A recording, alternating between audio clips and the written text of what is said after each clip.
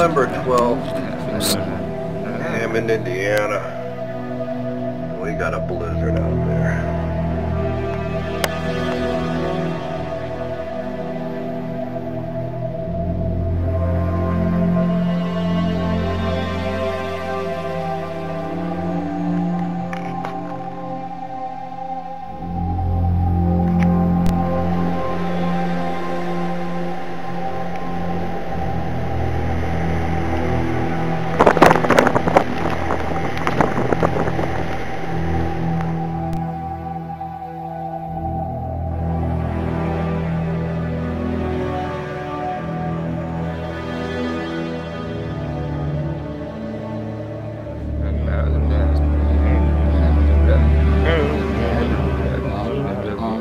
I had those. Yeah.